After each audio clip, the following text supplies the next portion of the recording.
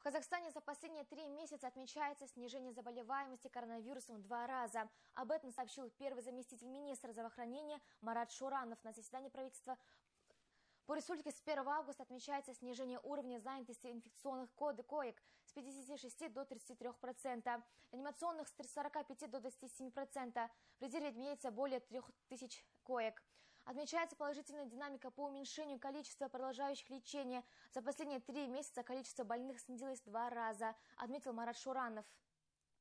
Вакцинация против инфекции COVID-19 охвачена 40% населения.